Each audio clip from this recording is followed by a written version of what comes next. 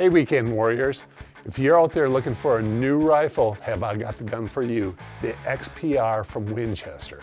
So this is their price point rifle. I mean, it retails for around $500, up on up a little bit depending on the options that you get. This is their standard model.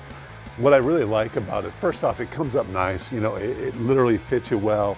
The stock is, is polymer, so you don't really have to worry about anything really denting it or anything going wrong with it it's pretty light. You know, the other thing that I really like is the trigger. So a lot of times when you get these price point rifles, it, it's all about the trigger and they, they cheapen up that rifle by putting in a low end trigger.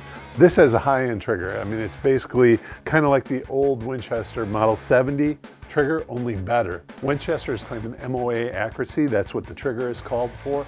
It's got a great tight pull. There's no creep in it. You're gonna love the absolute trigger.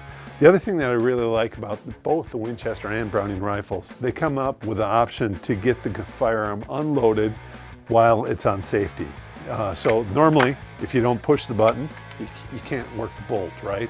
So now they have right in front of the regular safety, which is right there, and keep it on safe, push that down, and I can unload the rifle. A lot of guys that are watching this, you probably are not the type that really worry about that kind of thing, but when you have kids or other people in camp, I always worry about that. It, has it, got the uh, composite clip, it's a three shot clip, straight line, so it's gonna, you never have to worry about the feeding, it's not gonna jam up on you, super easy.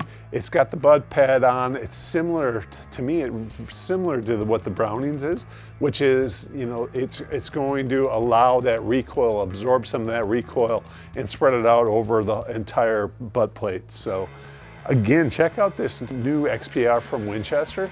For a price point rifle, you're gonna be hard pressed to find a better rifle. Check it out at winchester.com.